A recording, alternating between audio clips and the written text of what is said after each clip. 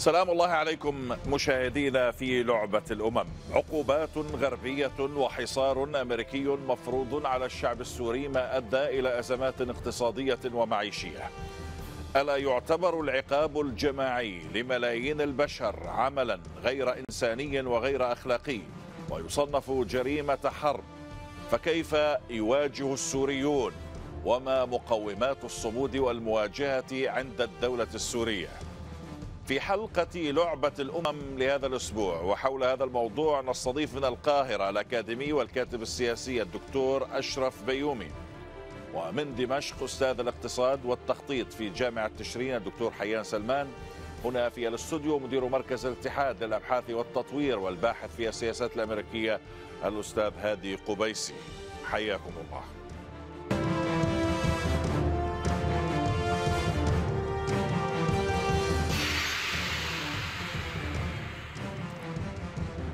مشاهدينا الولايات المتحدة استخدمت سلاح التجويع من أجل التركيع ونيل أهدافها السياسية ولإسقاط الحكومات.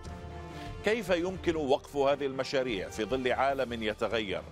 فمنذ أن سن الرئيس جيمي كارتر قانون سلطات الطوارئ الاقتصادية الدولية في عام 77 الذي وضع إطارا للعقوبات الأمريكية الحالية لجأ العديد من الرؤساء إليه على التوالي. وبالتالي سنجد أنه يطلق على مرحلة التسعينات اسم عقد العقوبات. كانت العقوبات المفروضة على العراق حربا موصوفة فأدت إلى وفاة أكثر من مليون ونصف المليون طفل ودمرت المجتمع بطبقاته. ومسلسل العقوبات طال كل خصوم الولايات المتحدة يوغوسلافيا وليبيا ليبيريا الصومال كمبوديا هايتي رواندا سيراليون أفغانستان وكذلك كوبا وكوريا الشمالية إيران وروسيا واليمن ولبنان وقطاع غزة. وفي سوريا العقوبات أتت تحت اسم قانون قيصر. ويعترف المبعوث الأمريكي السابق جيمس جيفري بأن العقوبات هي السبب في انهيار الليرة. نتابع مشاهدينا وفقا للأمم المتحدة. العملة انهارت وسعر الذهب ارتفع إلى 300 ألف ليرة سورية ما يعادل 50 دولارا في الغرام الواحد. تكاليف المعيشة ازدادت عن 700 ألف ليرة شهريا بينما المدخول الشهري لا يزيد عن 60 ألف ليرة. نسبة الفقر تجاوزت 90% نسبة البطالة 83% نحو 12 مليونا يعانون من انعدام الأمن الغذائي الشديد إضافة إلى شح في المخزون النفطي وانقطاع شبه تام في الكهرباء. الرئيس السوري بشار الأسد رغم كل ذلك يقول إن هذا الحصار سيفشل. العقلية واحدة لأن العقلية هي عقلية هيمنة وعقلية استعمار وعقلية غرور. هم يعتقدون كما كان الوضع ربما منذ عدة عقول بأن الغرب يمتلك كل ما يحتاجه العالم. اليوم الوضع تغير. بالنسبة لروسيا بالنسبة للصين وبالنسبة لكثير من الدول الأخرى آه، الصاعدة. نحن محاصرون ولكن كثير من الحاجيات الأساسية لا نأتي بها من, من الدول الغربية. قطعنا علاقتنا بها. العقلية نفسها والفشل سيكون نفسه لأن أي دولة تستطيع أن تؤمن المتطلبات الأساسية للعيش وللنمو. وإذا كانت مشاهدينا العقوبات الاقتصادية والعقوبات على الأشخاص لا تنجح فلماذا تستخدمها الولايات المتحدة؟ ماذا عن الدول العربية؟ لماذا وقف الانفتاح العربي على سوريا؟ هل هي أوامر أمريكية؟ مشاهدينا هذا الموضوع سنبحثه مع ضيوفنا وسأبدأ من دمشق دكتور آه، حيان سلمان حياك الله أبدأ معك ما ذكرناه هو الوضع بالضبط أم هناك المزيد؟ أهلا أستاذ كمان مساء الخير لك والمشاهدين. وبادي از بدء تحيه للأستاذين الكريمين. وأخصهما ببالغ التحية والاحترام، نعم ما ذكرته يكاد يقترب من الواقع تماما. هناك صعوبات اقتصادية لا حصر لها آه، تتنوع في جانب النفط المحروقات حوامل الطاقة الغذاء الأدوية آه، الليرة السورية انهيار سعر الصرف وإلى آخره. لكن دائما أحب بالأبحاث الاقتصادية أن أنطلق من فرضيتين. الفرضية الأولى هو اليوم أن لا نغرق في الماضي بعد مرور حوالي 11 11 سنة وتسعة أشهر على هذه الحرب الكونية على سوريا.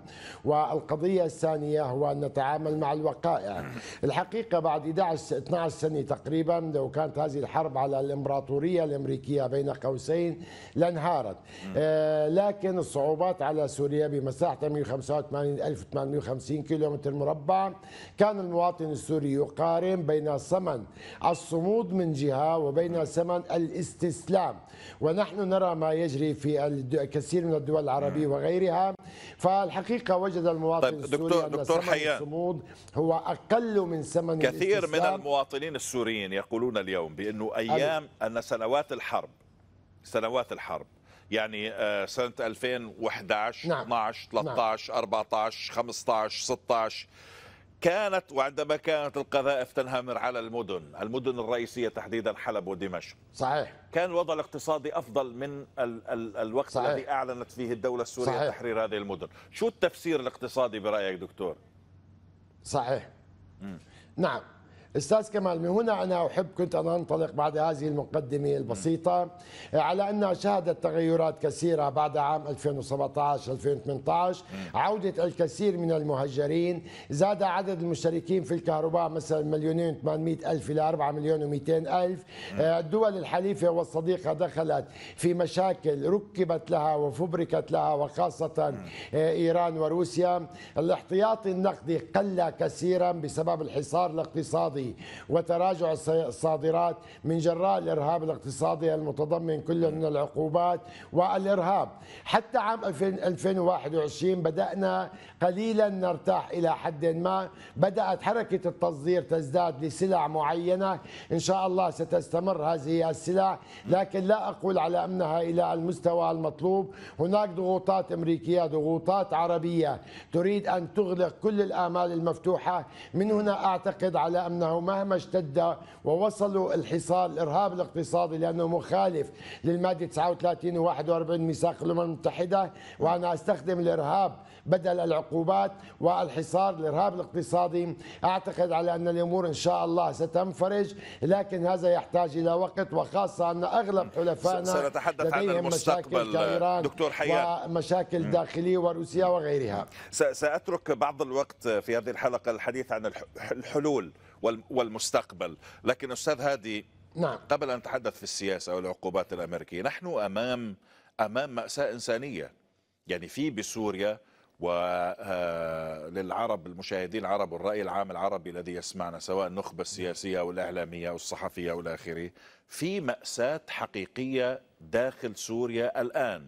مستويات الفقر يعني بلغت مرحلة ذكرنا قبل قليل رقم النقل عن الأمم المتحدة 93% يعني الشعب السوري كله تحت خط الفقر اليوم. خدمات منعدمة تماما لا ماء لا كهرباء لا وقود للمواصلات بعض القطاعات تعطلت إلى آخره.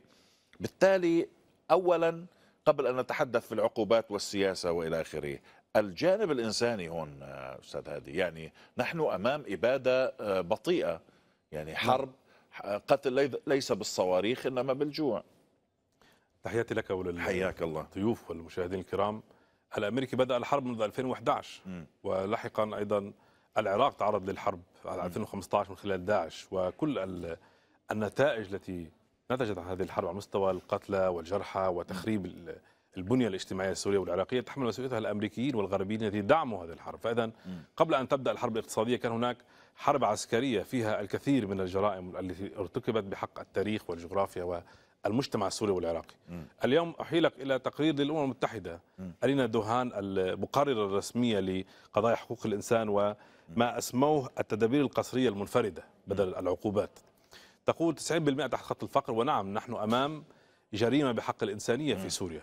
ما يجري هو حرب على كل الشعب السوري ويجري تدفيع ثمن للشعب السوري ككل. نعم. وليس فقط للحكومة أو بعض. من يشارك مع هذه الحكومة في الصفقات الاقتصادية أو في إعارة الأعمار كما كان منصوص في قانون قيصر. فإذا هناك مشروع لإخضاع سوريا وهو المشروع الذي بدأ عام 2011 يستكمل الآن بطريقة أخرى عبر الاقتصاد. وإذا عدنا إلى قانون قيصر أريد أن أحيلك أيضا إلى قصة حصلت في العراق عام 90 عندما بدأ الحصار على العراق. هي قصة الفتاة الكويتية نيرة التي قدمت شهادة كاذبة في الكونغرس وفي الأمم المتحدة حول قتل الجنود العراقيين للأطفال في الحاضنات في المستشفيات. وتم نعم. بناء قوانين العقوبات على العراق بناء على روايتها. والآن أيضا قانون قيصر يبنى على قصة مصطنعة وقصة مفبركة ويدفع الشعب السوري هو ثمنه المشكلة بالكامل. وين أستاذ هادي؟ المشكلة يقول لك إنه في واحد أطلق عليه اسم قيصر قدم معلومات عن انتهاكات جرت في السجون وإلى آخره. لا الشعب السوري يعرف من هو قيصر. ولا الولايات المتحدة قالت اسم الشخص من أجل المصداقيه إذا كان هذا الشخص الآن موجود في الولايات المتحدة الأمريكية يعني لماذا لا يتم القول بأن فلان الفلاني جاء إلينا وأعطانا هذه الوثائق؟ لماذا يبقى الاسم مرمزا؟ لكن أنا نعم نفس هذه نفس هذه القصة بعد 15 عاما حتى عرف اسمها للفتاة. يعني قدمت الفتاة على أنها فتاة كويتية غير معروفة من هي. تبين لاحقا أنها بنت السفير الكويتي في واشنطن. والشركة التي أدارت هذا السيناريو هي شركة هيل أند نولتون للدعاية والإعلام والحملات الانتخابية. هي التي دربت هذه الفتاة وأطلقت هذا المشروع الإعلامي. وبعد فترة طويلة حتى أعلن اسمه حتى يتم يعني تمرير القصة وترويج القصة بشكل آمن وتعطي مصداقيتها. اللافت أن قانون قيصر اسمه قانون قيصر لحماية الشعب السوري. لحماية المدنيين في سوريا. والذين يدفع والذي يدفع الثمن الآن هم فقط المدنيين في سوريا. طبعا. واصلا لم يعد هناك حرب في سوريا لم يعد هناك يعني اشتباك حقيقي في سوريا. ولكن الاستمرار في هذا الحصار له أهداف أخرى، الممثل الألماني الخاص المبعوث الألماني الخاص إلى سوريا يقول ستستمر سياسة العقوبات حتى نشهد تغيير سلوك النظام السوري. الهدف سياسي. إخضاع النظام هو الذي سياسية. كان مقصودا. والسياسات الأمريكية والغربية نحن نعرف تأثير الشركات في الكونغرس وفي المؤسسات الأمريكية تبنى على أساس رؤى اقتصادية ومنظور اقتصادي للحروب أيضا. إخضاع سوريا والسيطرة على نفطها وغازها. كان هذا المشروع في 2012 لكن أنت ذكرت آه، آه، أستاذ هادي آه، إليان دوهان الممثلة الأممية لحقوق الإنسان المقرر الخاصة للأمم المتحدة. ماذا تقول؟ يعني لأنك ذكرتها. تقول مشاهدينا ندعو تدعو الولايات المتحدة الأمريكية إلى رفع العقوبات الأحادية الجانب عن سوريا. العقوبات تنتهك حقوق الإنسان للشعب السوري والذي دمرت بلاده من الصراع المستمر. العقوبات المفروضة بموجب قانون قيصر تؤدي إلى تفاقم الوضع الإنساني المتردي. بالفعل في سوريا خصوصا في سياق جائحة كورونا عندما أعلنت العقوبات الأولى بموجب قانون قيصر في حزيران 2020 قالت الولايات المتحدة أنها لا تنوي الإلحاق الأذى بالسكان السوريين. ومع ذلك فإن تطبيق القانون قد يؤدي إلى تفاقم الأزمة الإنسانية القائمة مما يحرم الشعب السوري من فرصة إعادة بناء بنيته التحتية الأساسية تقول المسؤولة الأممية. بالمناسبة حياك الله دكتور أشرف. بالمناسبة آه، سيدة سيدة دوهان تعرضت لهجمات يعني كبيرة لأنها قالت بأن العقوبات التي تفرضونها تمس الشعب السوري وحياة السكان ولا تمس النخبة السياسية أو النظام السياسي أو إلى آخره. طبعا جرى آه، آه، انتقادها وشن حملة عليها. نادرا ما نسمع دكتور أشرف أنت عندك تجربة؟ متابع لهذه المسائل. نادرا ما نسمع مبعوثا أمميا أو مسؤولا في الأمم المتحدة يتحدث بهذه الصراحة. أخذ رأيك دكتور أشرف تفضل. لا هو في الحقيقة في شخصيات آه، آه، في هيئة الأمم المتحدة زي دينيس هاليداي آه، وفون سبونيك وغيرهم يعني كانوا في منتهى الإستياء والغضب من انتهاكات حقوق الإنسان والعقوبات الجماعية التي تشنها آه، الدول المهيمنة أمريكا وحلفائها. وللأسف آه، مشارك في ذلك بعض الدول العربية. وبالتالي ليس خافيا على الأقل في النموذج العراقي مدى الدمار الذي حدث بالنسبة للإنسان العراقي ونحن الآن نشاهد آه، مآسي في سوريا آه، وكل هذا لماذا؟ لماذا تعاقب أمريكا آه، سوريا؟ لأنها لم ترضخ للإملاءات الأمريكية التي ذهب بها كولين باول وهي قطع علاقتها مع إيران، قطع علاقتها مع حزب الله تحدث عن مطالب مطالب كولين باول 2003 ابان غزو العراق. أيوه نعم. م. وبالتالي آه واستاذ كمال كمان آه يعني آه في كتاب اسمه The Spin Doctors spin doctors يعني الكذب يعني.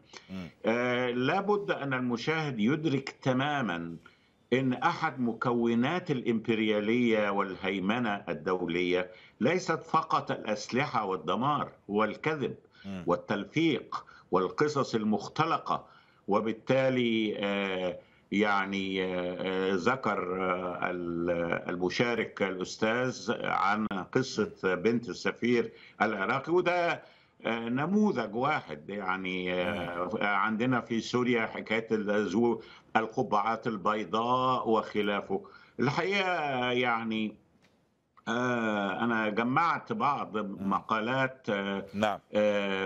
متعلقة بالحصار على سوريا والحقيقة الكتاب مليء بمشاهد من الكذب والتلفيق والإجرام. يعني أمريكا تتحدث الإدارة الأمريكية تتحدث عن انهم ضد العقوبات الجماعية، ماذا يحدث في سوريا الآن؟ وماذا حدث في العراق؟ هو المشكلة وماذا يحدث في دكتور أشرف الدول. تعرف اين أين المفارقة؟ ولكن دكتور ولكن أشرف المفارقه المفارقة بأن السر... الدول العربية. السردية الأمريكية دكتور أشرف تقول لك نحن نفرض هذه العقوبات أو قانون قيصر جاء لحماية الشعب السوري من الانتهاكات التي والقتل الذي يقوم به النظام. هذا هو البناء النظري الذي تقوم عليه العقوبات الأمريكية والبناء القانون الذي تقوم عليه العقوبات الأمريكية في الكونغرس. لكن على أرض الواقع الوضع مختلف تماما الوضع مختلف تماما. من يعاني ومن يموت من لا يدخل المستشفيات من لا يجد دواء من لا يجد كهرباء هو المواطن العادي. هقول لك يا أستاذ كمال قصة صغيرة. آه كنت أنا والسيد دينيس هاليداي آه في واشنطن نقابل جوزيف بايدن وقتها ما كان سيناتور ما كانش نائب رئيس أو رئيس. وتحدثنا على المأساة بتاعة العراق. وقال بوضوح كامل قال لو أنت تتصور أن الحصار على العراق سيتم طول ما صدام حسين في السلطة وقالها باللغة الإنجليزية forget it. انسى. ف يعني العامل السياسي هو العامل الأساسي في العملية والذين يجرمون. اللي بيعملوا جريمة على فكرة ما بيشعروش بتأنيب ضمير نعم. بهذه الصورة لكن يعني هنا دكتور بيبرروا هذا. فاكر اسمها إيه؟ وزيرة الخارجية اللي لما سألتها المذيعة هل الموت الأطفال يستحق كل هذا؟ قال لها قالت له نعم. طيب دكتور أشرف لأنك ذكرت العراق وضيفي الأستاذ هادي هنا أيضا ذكر العراق.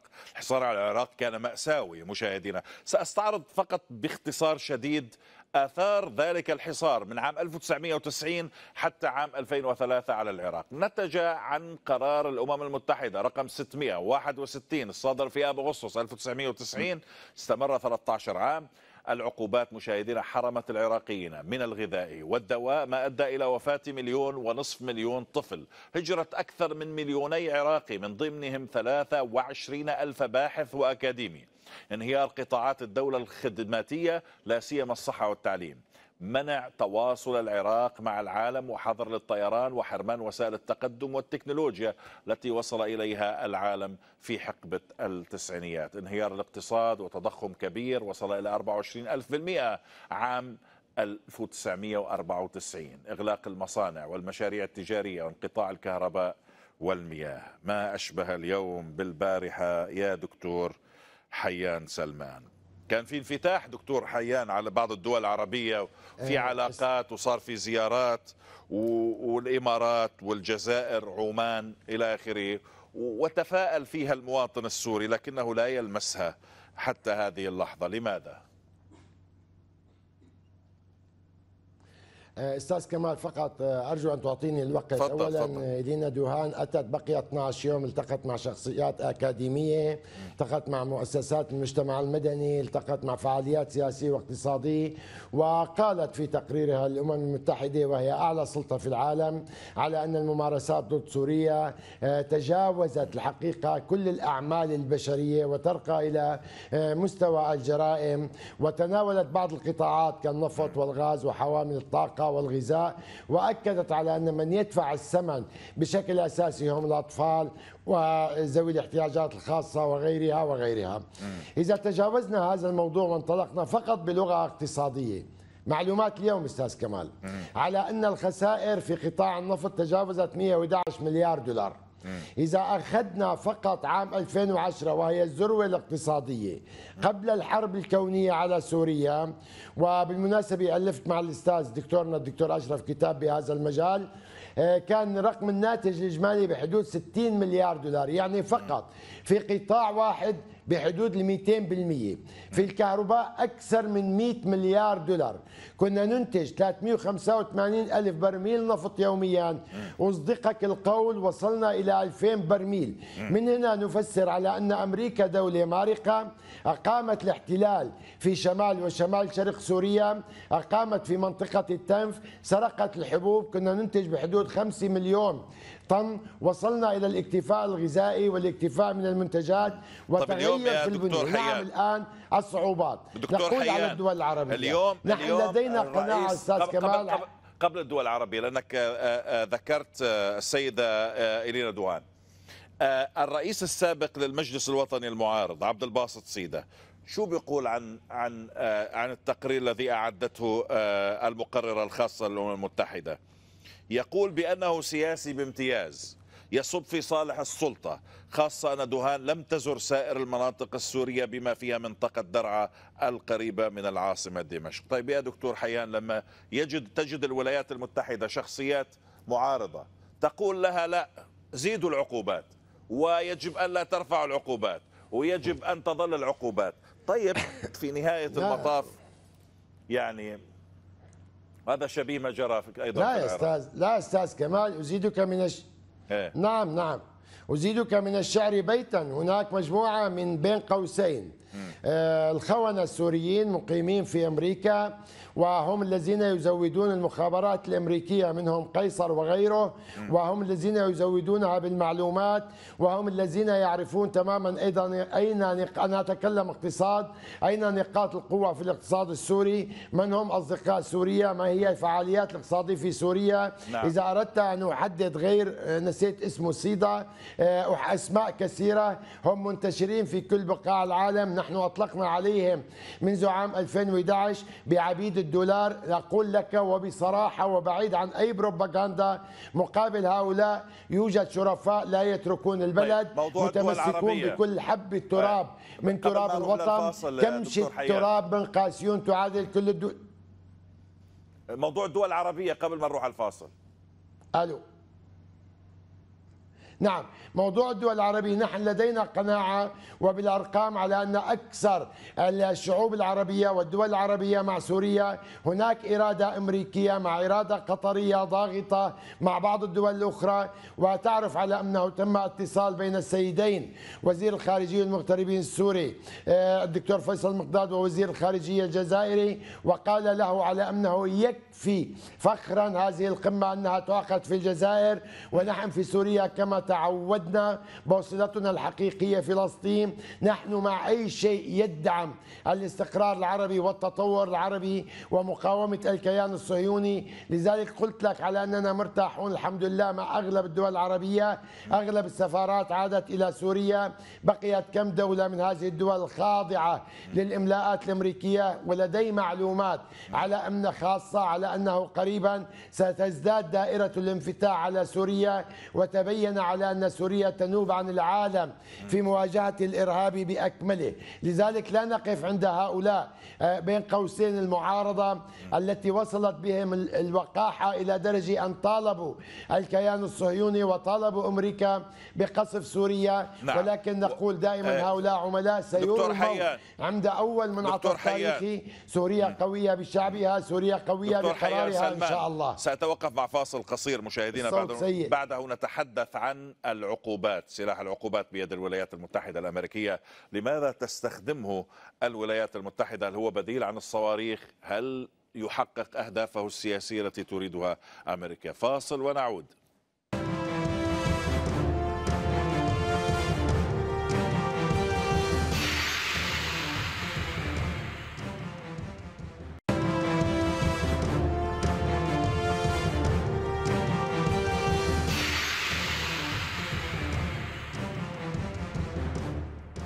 تحية من جديد مشاهدينا في لعبة الأمم نتحدث فيها عن العقوبات الأمريكية على سوريا والتي أثرت بشكل كبير في قطاعات واسعة في من حياة آه، الناس. أستاذ هادي آه، آه، قبيسي تحدثنا قبل الفاصل مع مع ضيوفي الأفاضل حول موضوع السردية أن العقوبات تفرض لأننا نريد إنقاذ الشعب السوري ولكن الشعب السوري اليوم يموت.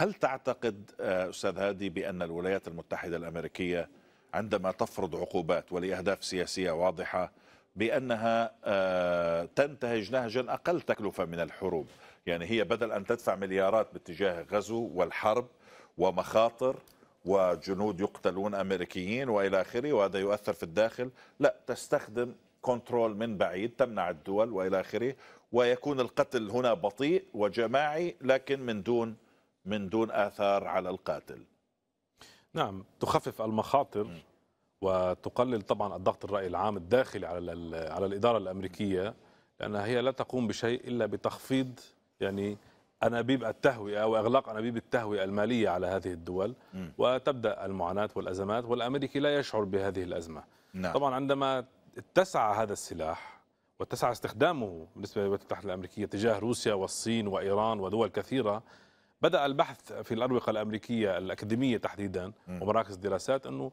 هل نحن نعاقب أنفسنا أم نعاقب الآخرين؟ ولكن إذا جئنا إلى التجربة السورية تحديدا هناك سياق محدد للتجربة السورية وهي لا ترتبط فقط بالجغرافيا السورية. طبعا خلال الحرب وبداية الحرب كان هناك حديث واضح أنه ما يجري في سوريا هو اقتتال على النظام العالمي الجديد. وكان هناك نية للاستغناء عن الغاز الروسي وأن يصبح غاز غرب آسيا وغاز الخليج وغاز الشرق المتوسط يتجه إلى أوروبا وتستغني عن روسيا. م. الحرب أفشلت هذا المشروع ومنعت هذا الاستغناء الأوروبي. والآن نحن في مرحلة متقدمة من الصراع على شكل النظام الدولي. إذا الحرب كانت في هذا الاتجاه ذات بعد اقتصادي وخلفية اقتصادية أوروبية وأمريكية. ومن على مستوى إقليمي سوريا شكلت كما قال الأستاذ من سوريا أستاذ حيان شكلت نموذج في الاستقلال على المستوى الغذائي وعلى مستوى موارد الطاقة وحتى على المستوى الصناعي أيضا. هذا النموذج بالنسبة للأمريكيين هو نموذج غير مقبول نموذج مرفوض. أن تكون هناك دول غير تابعة لها وقادرة على الاستقلال الاقتصادي مستقل. وقادرة على بناء نموذج اقتصادي قابل للحياة. هذا أمر بالنسبة للأمريكي مهدد وخطير بقدر ما يكون لدى الدول أسلحة طيب أو قدرات عسكرية. معلش أستاذ هادي آه، إذا كانت العقوبات لأهداف سياسية سواء على إيران أو على سوريا على كوبا على إلى آخره ونحن نرى ونلمس بأن العقوبات تفتك بالسكان بشكل مباشر وليس بالنظام السياسي. يعني بمعنى أنها لا تحقق الأهداف السياسية. طيب مع إيران سياسة الضغوط القصوى وإلى آخره لم تحقق أهداف سياسية لم ينتزعوا تنازل. مع سوريا خاضوا الحرب على سوريا عسكرية والآن عقوبات كذلك الأمر. طب إذا كانت أمريكا لا تحقق أهدافها السياسية من العقوبات لماذا تستمر في انتهاج هذه السياسة؟ سياسات الاحتواء عادة عندما تأسست بعد الحرب العالمية الثانية تجاه الاتحاد السوفيتي كان فيها خاصية أساسية وهو عدم إمكانية توقع زمان النجاح يعني توقيت النجاح غير واضح بالنسبة لهم ولكن يحاولون هم يقولون لن نغير سياستنا حتى نصل إلى هذه النتيجة. وحتى يصلوا إلى هذه النتيجة الطرف الآخر يعيش المعاناة والأزمات الدائمة. طبعا قد لا يكون الضغط مباشر على النظام مؤسسات النظام بالقدر الذي هو ضغط على الجمهور ولكن هذا يهدف كما حصل في إيران في الأشهر الماضية إلى دفع الجمهور مطالبة النظام بتغيير سياساته. إذا النظام لا يريد تغيير سياساته. نعم نضغط على الجمهور وهذا الجمهور هو الذي يدفع النظام بتغيير خلصونا روحوا تصالحوا مع. الولايات المتحدة أو أو أو اعملوا تطبيق مع إسرائيل شوي. خلينا نعيش. نعم يعني, يعني هذا ترجمة الأردن ومصر هي بهذا الشكل. يعني ذهبنا إلى التطبيق لتحسين الأوضاع الاقتصادية كما كان يقول السادات ولكن النتيجة لم تكن والسودان كذلك. والسودان على أسوأ. مصر حتى الآن يعني زراعة القمح فيها كما يحاول أمريكا أن يفعل في سوريا. زراعة القمح في في تراجع منذ 40 عاما وحتى الآن. الأساس بالنسبة للأمريكي أنا أريد أن أؤكد على هذه النقطة أنه ليس الموقف في العلاقات الإقليمية للدولة هو الذي يهم الأمريكي فقط. وتموضعها الاستراتيجي وعلى مستوى الإقليم بالنسبة لسوريا. نفس نموذجها الإقتصادي هو هدف بالنسبة له. يعني سواء كانت سوريا في محور المقاومة خارج محور المقاومة أيا تكن تحالفاتها إن لم تكن تابعة للولايات المتحدة الأمريكية ولديها نموذج قابل للحياة خارج المنظومة الغربية وخارج الهيمنة الغربية فهو هدف بالنسبة لها وهذا ما قامت به الولايات المتحدة الأمريكية منذ عام 2011 هنا أريد أن أسأل دكتور أشرف. دكتور أشرف عندما نتحدث عن فشل سياسة العقوبات آه، آه، الأمريكية يعني نحن لا نريد أن نقول أن أننا أمام سياسة يعني لا نريد أن نقول بأنها آه، أنها نوع من القتل من أجل القتل. آه، هو ربما يكون قتل لأهداف سياسية لكن عندما لا تتحقق الأهداف السياسية يعني الولايات المتحدة اضطرت لغزو العراق 2003 بعد سياسة عقوبات استمرت 13 عاما. اضطرت أن تأتي بجنودها إلى العراق لتنفيذ سياساتها وتنفيذ مخططاتها. سوريا كانت معاقبة أصلا يعني قبل 2011 يعني سوريا 85 إلى كان كان مفروض عليها أيضا آه، عقوبات. آه، اضطرت الولايات المتحدة أو أو جرى فيما بعد الهجوم عليها عسكريا في 2011 تسليح وتنظيم وجماعات إرهابية ووسائل إعلامية والآخرة وأمريكا كانت المايسترو باعتراف آه، وزير خارجية وزير خارجية قطر. إيران إلى الآن من 79 حتى الآن لم ينتزعوا من إيران أي تنازل ويفاوضون إيران على ملفها النووي. إذا ما هي الغاية من العقوبات؟ هل هي القتل من أجل القتل؟ هل هي معاقبة الخيارات السياسية؟ محاولات؟ يعني إذا كانت العقوبات لا تؤدي إلى الهدف لماذا تستمر آه، مع ما تحمله من مآسي للشعوب؟ آه، هي تؤدي آه، جزء من الهدف. أنا بتفق مع الأستاذ في الاستوديو. إعطاء نموذج إن اللي يسلك مسلك الحكومة السورية ولا يتنازل عن الأهداف القومية ويقدم نموذج اقتصادي لا بأس به لابد من معاقبته. ومعاقبة الشعب حتى يكون نموذج آه، لشعوب أخرى قد تتطلع لنفس المسار السوري بمعنى الصمود في وجه الهيمنة الأمريكية وهيمنة الكيان الصهيوني. وبالتالي لا أعتقد أن العقوبات تؤدي جزء من الهدف. هي لا تؤدي جزء من الهدف الأساسي وهو تركيع الشعب السوري وده يحسب للنظام السوري ويحسب للشعب آه، السوري. يعني هذا الصمود الرائع من قبل الشعب السوري آه، هذه الأعوام الطويلة آه، شيء مدهش للغاية يعني. وبالتالي وهو شيء يعني يسبب frustration يعني آه، إزعاج شديد للإدارة الأمريكية. ولكن أؤكد مرة أخرى أن الهدف هو إذلال الشعب وعقوبة الشعب حتى حتى يكون درس آه، في المستقبل لمن يتجرأ ويأخذ مسارا آه، مستقلا في التنمية وفي مواقفه السياسية. طيب هنا دكتور أشرف نتحدث عن كلفة منخفضة لسياسة العقوبات عنه للحروب. يعني بمعنى أنه لا يحمل الولايات المتحدة الأمريكية مسؤولية دمار ولا يكلفها أيضا مليارات آه، على الحروب لا يكلفها أرواح من الجنود الانتقادات آه، يعني انتقادات داخلية آه، أيضا يجنبها ذلك. وبالتالي قد ترى النخبة السياسية الأمريكية بان بأنها سياسة مجديه كنترول تستخدم آه، يعني التحكم عن بعيد بعملية الخنق. آه، يجب ألا نقلل من التاثير السيكولوجي والنفسي في داخل الولايات المتحدة الأمريكية. هناك شرائح واسعة في المجتمع الأمريكي تضررت نفسيا من الجرائم التي ارتكبتها الإدارة الأمريكية في العراق. وبالتالي المجهود الذي بذل لتوصيل الرسالة آه، للعالم آه، من حيث آثار السلبية والمأساوية للحصار هي آه، لها فائدة كبيرة. يعني لا نقلل أن هناك نسب لا بأس بها من المجتمع الأمريكي كانت متألمة من المآسي الإنسانية التي تمام. أعلن عنها بالنسبة للعراق. وبالتالي هذا يضع على عاتقنا إنه لابد أن نفعل الشيء نفسه بالنسبة لسوريا.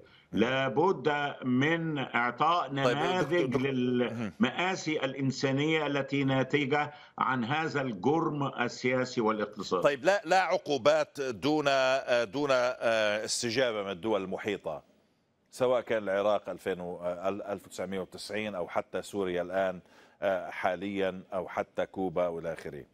لا يعني بمعنى إنه لو أخذت الدول المحيطة بسوريا الدول العربية قرارا بعدم الاستجابة للعقوبات لا يمكن أن تحدث عقوبات. لا تستطيع أمريكا أن تحاصر سوريا يعني. الا إذا كان استخدام النظام المالي والحوالات المالية إلى آخره. لكن في التبادلات التجارية لا تستطيع أن تمنع الجغرافيا من التواصل. بالضبط. والحقيقة على المستوى الدولي تواجد قوة آه، مثل البرازيل تحت حكم لولا والصين وروسيا والهند. آه، بيغير المعادلة كمان. يعني أمريكا ليست آه، القوى المهيمنة الوحيدة بل أنها في المرحلة الأخيرة من كونها القوة المهيمنة الوحيدة وهي تشعر بذلك. وبذلك آه، خطر الإدارة الأمريكية يتصاعد لأن لما توضع دول عظمى في ركن وتشعر بأنها تفشل آه، يزداد حمقها ويزداد آه، وتزداد جرائمها وبالتالي نعم. من الضروري القيام ولذلك أنا أشكر الميادين على هذا البرنامج. شكرا جزيلا. وسأشكرها أكثر بعرض نماذج للمأساة الإنسانية في داخل سوريا. نعم. آه وفي نفس الوقت وفي نفس الوقت آه مدى الصمود للشعب السوري. يعني عندما نتحدث عن الحالة المأساوية يجب أن نذكر البطولة ومن حيث المواطن السوري الذي يتألم ومع ذلك هو يصمد. طيب هنا دكتور آه، هنا اسمح لي أنتقل أستاذ هادي آه، في في موضوع أيضا آه، عفوا الاستاذ هادي. أستاذ هادي مليون عراقي أو مليون ونصف عراقي قتل. هل سننتظر حتى يقتل مليون ونصف مليون سوري حتى يتم يتم التحرك. اليوم نحن أمام جريمة حرب أليس كذلك؟ جريمة بحق الإنسانية. جريمة ضد الإنسانية. إبادة جماعية نعم. بطيئة عمل غير إنساني غير أخلاقي وغير وبعيد عن القانون الدولي. إذا ما قيمة نظام دولي وقانون دولي وأمم متحدة ومؤسسات أمم متحدة؟ عندما لا تستطيع الدول الصغيرة أو الشعوب البعيدة الضعيفة أن تلجأ إلى قانون دولي أو إلى نظام دولي لحمايتها. القانون الدولي لم يحمي لبنان ولا فلسطين ولا سوريا من الحرب العسكرية والحرب الاقتصادية الآن نفس نفس القضية يعني. المشكلة ليست في المجتمع الدولي لأنه يسيطر عليه الغرب على مفاهيمه بشكل كبير حتى الآن ورغم التحول الدولي الجاري. التعويل هو على حلفاء سوريا وعلى القوى الصاعدة. ليست الدول العربية التي يتحكم بها الأمريكي بجزء كبير أيضا باقتصادها وسياستها وأمنها. القوى الصاعدة حتى الآن لم تنظر إلى سوريا في الحرب الاقتصادية على أنها جزء من المعركة مع أمريكا كما فعلت عام 2011 عام 2011 تم النظر إلى سوريا على أنها نموذج للمواجهة وساحة للمواجهة مع الأمريكي والغربي ومنطلق لنظام دولي جديد. اليوم إذا تحولت سوريا في النظرة الشرقية يعني الروسية والصينية والإيرانية وغيرها إلى ساحة لمواجهة اقتصادية لخلق نموذج في مواجهة العقوبات. لإفشال نظام العقوبات الذي يجري تجاه روسيا الآن ويجري سيجري تجاه الصين أيضا. اتسعت مسائل نعم. العقوبات أصبحت واسعة جدا نعم. يعني. سوريا تستطيع أن تكون نموذجا. طبعا تكلفتها ليست ضخمة بالنسبة للحلفاء يستطيعون أن يساعدوها يستطيعون أن ينخرطوا أكثر في معالجة أزمتها الاقتصادية وأن يخوضوا معها الحرب الاقتصادية ويفشلوا هذه الحرب كما فعلوا عام 2011 أعتقد هذا المنظور حتى الآن القوى ليست متكاتفة في أو ليست منسجمة في رؤيتها تجاه سوريا بالتحديد في هذه الحرب الاقتصادية. بحاجة إلى رؤية شرقية لإنقاذ سوريا وتحويلها إلى ساحة مواجهة يمكن هذا اختبار اليوم أستاذ هادي للحديث لجدية الحديث عن نظام جديد أو نظام دولي يتشكل جديد وأيضا اختبار حقيقي للقوى الصاعدة أو القوى المتمردة على الإرادة الأمريكية. نعم اختبار التكاتف تستطيع أن تنقذ شعوب آه، تعاقب من قبل الولايات المتحدة الأمريكية فلا يمكن أن تكون بديلا للولايات المتحدة أو نظيرا للولايات المتحدة في النظام آه، في النظام الدولي. في نقطة أخرى أستاذ هادي موضوع الأزمة اللبنانية، هل الأزمة اللبنانية فعلا هي أزمة مفتعلة ل آه، لإغلاق الرئة التي كان يتنفس منها الاقتصاد السوري في سنوات الحرب؟ طبعا كان له تأثير كبير للأزمة اللبنانية على سوريا خصوصا موضوع الودائع والبنوك وحركة الودائع بين لبنان وسوريا. هناك أزمة كبيرة. كما أيضا الأزمة السورية أنتجت لدينا مشكلة النازحين والأمريكي هو والغربي هو الذي يعترف أيضا. اليوم الفرنسيين نائب في البرلمان الفرنسي يقول نحن نمنع عودة الفرنسيين من لبنان إلى سوريا. الأزمات يعني تأثيراتها متبادلة بين لبنان وسوريا نتيجة الاقتراب الجغرافي والاشتراك على المستوى الاقتصادي في كل المجالات ليس فقط في المجال المالي. هناك آثار في الطرفين ومن قبل الطرفين على اقتصاد الطرفين ويعني هناك خاصة بالنسبة للبنان، لبنان ليس لديه متنفس بري إلا سوريا أكثر من تأثر سوريا، سوريا لديها العراق، لديها نعم. الأردن فتحت علاقات، لديها حركة ممكنة على المستوى البري، أما لبنان فلا التأثيرات متبادلة بين الطرفين بالتأكيد. دكتور حيان سلمان صحيح في نظام دولي يتشكل وربما آه سوريا تدفع آه، تدفع ثمن اليوم. صحيح أن هناك اختبار لقوى صاعدة وفي تحالفات. صحيح أن الولايات المتحدة أجرمت كثيرا بحق هذه الشعوب. دعمها لإسرائيل لوحده في جرائمها كان كافي للقول بأنها أجرمت بحق الشعوب الشعوب العربية. لكن دكتور حيان المواطن السوري اليوم لا غير مكترث بكل ذلك. يريد مقومات الحياة اليومية. الناس تريد أن تتعالج تريد أن تريد كهرباء المصانع تريد كهرباء وقود مواصلات إلى آخره الحياة اليومية التي ينتظرها السوريين. دكتور حيان هل تعتقد إنه آه في حلول خارج عن موضوع السياسات الدولية؟ في هل يمكن إيجاد مخارج للأزمة الموجودة حاليا في سوريا؟ أستاذ كمال أرجو أن تعطيني الوقت فضل اولا فضل. الموضوع يعني أوسع وأكبر من سوريا وأمريكا تعرف على أن سياسي أمريكي بالشرق المتوسط لا يوجد يوجد سياسي إسرائيلي تنفذها الإدارة الأمريكية. ثانيا الحقيقة أول ما بدأت المؤامرة الكونية على سوريا بدأت سياسيا تذكر اجتماع 111 دولة بتونس أيام المرزوقي وعندما فشلوا أرادوا أن يأخذوا بالقوة العسكرية عندما فشلوا الآن يطبقوا المناحي الاقتصادي لا أكثر ولا أقل.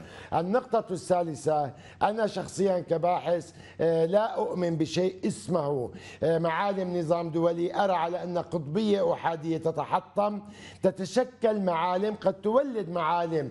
نظام عالمي دولي إذا كانت أمريكا قد ضحت بمصالح المجتمع الأوروبي من خلال تبعية أوروبا الزيلي لها وخاصة العقوبات وارتدت على على نفسها وتسقيف بسعر برميل النفط وغيره.